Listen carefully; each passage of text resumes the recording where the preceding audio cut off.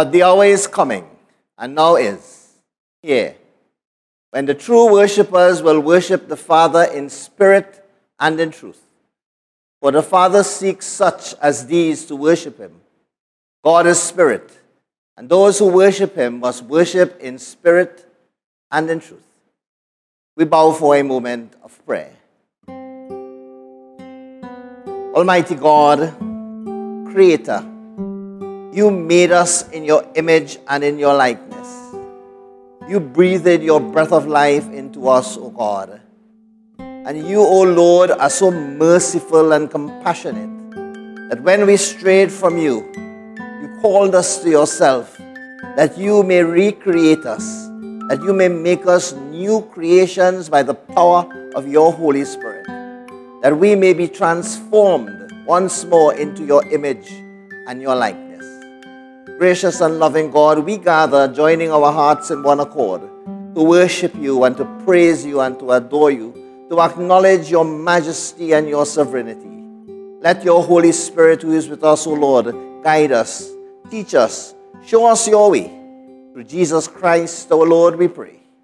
Amen.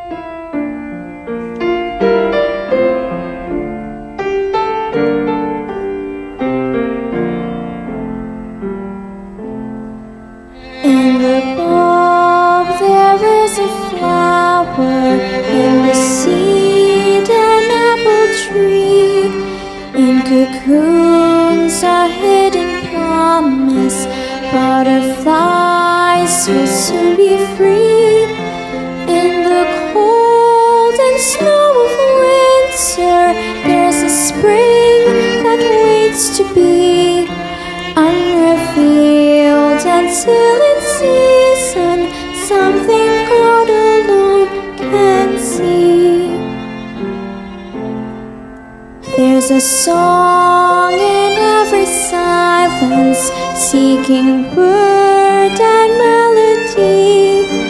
There's a dawn in every darkness, bringing hope to you and me. From the past will come the future, what it holds, a mystery, unrevealed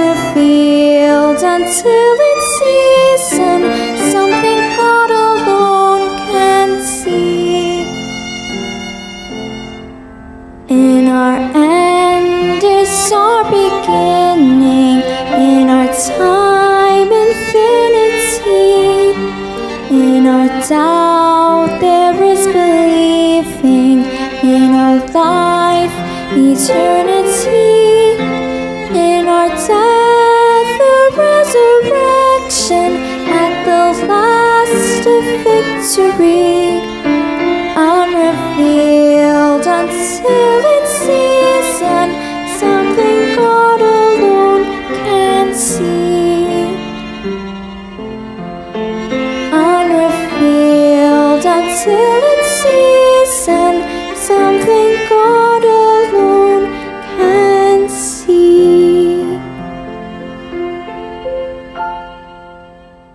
Our scripture reading today comes to us from Romans chapter 12 and verses 1 to 8. Therefore, I urge you, brothers and sisters, in view of God's mercy, to offer your bodies as a living sacrifice, holy and pleasing to God. This is your true and proper worship. Do not conform to the pattern of this world, but be transformed by the renewing of your mind. Then you will be able to test and approve what God's will is, His good, pleasing, and perfect will. For by the grace given me, I say to every one of you, do not think of yourself more highly than you ought, but rather think of yourself with sober judgment, in accordance with the faith God has distributed to each of you. For just as each of us has one body with many members, and these members do not all have the same function, so in Christ, we, though many, form one body, and each member belongs to all the others.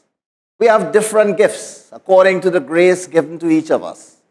If your gift is prophesying, then prophesy in accordance with your faith. If it is serving, then serve. If it is teaching, then teach. If it is to encourage, then give encouragement. If it is giving, then give generously. If it is to lead, do so diligently. If it is to show mercy, do it cheerfully. This is the word of God. Thanks be to God for his word. Amen. Let us come to Almighty God in prayer. Thy word, O Lord, is a lamp unto our feet and a light unto our pathway. Show us, O Lord, the way that we must go, and remove the darkness, O Lord, that we may not stumble and fall. Now may the words of my mouth and the meditation of all our hearts be acceptable in your sight, our strength, our Savior, our Redeemer. Amen. Ephesians chapter 6 and verse 12 says, For our struggle is not against flesh and blood, but against the rulers, against the authorities, against the powers of this dark world, and against the spiritual forces of evil in the heavenly realm. A significant part of this battle is the battle for our minds. At the heart of this battle is an attempt to influence our beliefs, attitudes, and behavior in the direction of the ones exerting the influence. This battle for our minds has intensified tremendously with the advent of technology and the various forms of social media. Over the past few months leading up to the general elections, political parties and candidates have engaged in this battle for our minds to win our votes. The business community is continuously engaged in this battle over the printed and electronic media. And with billboards strewn along our highways and roadways to the point of becoming eyesores, only to influence us to choose their products and services over their competitors. But most of this may be harmless and sometimes even helpful. The most dangerous battle for our minds is the spiritual one, the one that replaces God in our lives with worldly idols. That is why Paul, inspired by the Holy Spirit, gave us the command do not be conformed to the world.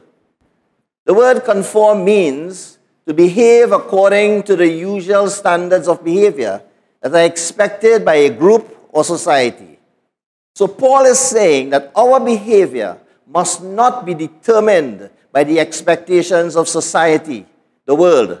However, Paul doesn't tell us only what we shouldn't do, but also what we should do. In Romans 12, verses 1 and 2, he says, I appeal to you, therefore, brothers, through the mercies of God, to present your bodies a sacrifice, living holy, acceptable to God which is your spiritual worship. We must not let the urgency of the words he begins this verse with be lost on us. I appeal to you. Some versions of the Bible says, I beseech you. The urgency is for them to understand all that he taught them in Romans 1 and to, to chapter 11. That disciples of Jesus are new creations who no longer live under the law but under God's grace. As the Jewish people had offered sacrifices to God through the years, now the sacrifice we are to offer is ourselves. Paul said that it is our bodies that we are to offer as a sacrifice, not selfishly, but more in relations to society and the wider world. The spiritual discipline that we are to offer as a sacrifice to God is worked out in how we relate to others, to the world in general. Therefore, by relating to other people and the world in a manner pleasing to God is our spiritual worship. And as a result of pursuing our destiny in this way, a transformation comes over us. Verse 2 do not be conformed to this world, but be transformed by the renewing of your mind, so that you may know what is the will of God, what is good, acceptable, and perfect. We must not conform. Instead, we are to be transformed by the renewal of our minds. So, as we are transformed by the renewing of our minds, our attitudes change. Our character is reformed and renewed, and the old becomes new. And the purpose of this transformation is made clear in verse 2 so that you may know what is the will of God, what is good, acceptable, and perfect. We become transformed so that we are able to assess our behavior, our thoughts, our words, to test and discern them and work out whether we are behaving in a manner that is pleasing to God or not, and then transform our behavior accordingly. Paul is absolutely clear. Our spiritual worship must lead to transformation of the mind, which must lead to a change in behavior that is in keeping with God's will for His church, His people. And Paul then provides a list to describe what that transformation looks like. We do not think of ourselves more highly than others. Think with sober judgment. Acknowledge we are many members, but parts of the one body of Christ, each with gifts given by God's grace. And so Paul sums up all that and begins to relate it to further instructions in a beautiful and simple phrase in verse 9 Let love be genuine. That's it. That is the sum total of the gospel life. Let love be genuine. That is our calling as Christians to share love with one another and with the community around us. That is our ultimate calling as a church. He then explains explicitly how we show genuine love to one another. He says, Hate what is evil, hold fast to what is good. Love one another with brotherly affection. Outdo one another in showing other. Contribute to the needs of the saints. Practice hospitality. Bless those who persecute you. Bless and do not curse them. Rejoice with those who rejoice. Weep with those who weep. Live in harmony with one another. Do not be haughty, but associate with the lowly. Never be conceited Repay no one evil for evil. Live peaceably with all. Never avenge yourself. If your enemy is hungry, feed him. If he is thirsty, give him drink. Do not be overcome by evil, but overcome evil with good. Then he tells us how to show our love for God. Never flag in zeal. Be aglow with the Spirit. Serve the Lord Rejoice in your hope. Be patient in tribulation. Be constant in prayer. Clearly, Paul is teaching us that our faith in Jesus is not a passive faith, but one that must be fulfilled by our actions. How we live with one another and with God. And He guides us on how to do it, both as new creations in Christ. In this passage, Paul calls us to renewal and transformation, and in the power of the Holy Spirit. We believe that God is constantly renewing and transforming us so that we will fulfill our destiny as the people of God for this generation. He calls us not to be conformed to the present age. Let us therefore do all we can to move forward together as the body of Christ into the future that God has for us.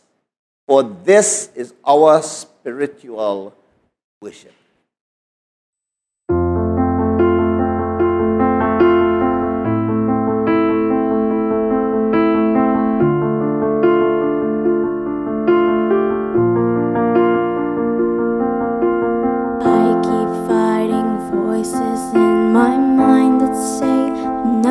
enough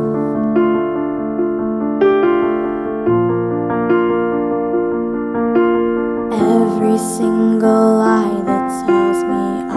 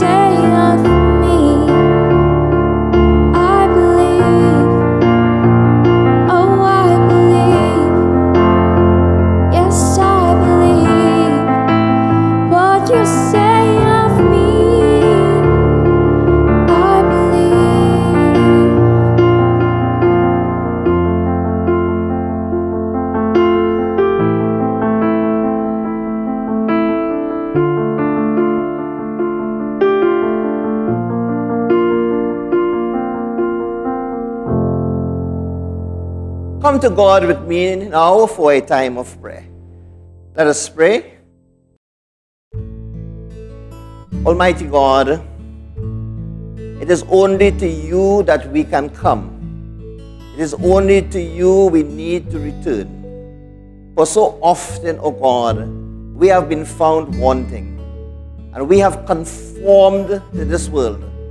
We have allowed the call of this world to attract us. And we have gone after the glamour and the glitter that the world offers.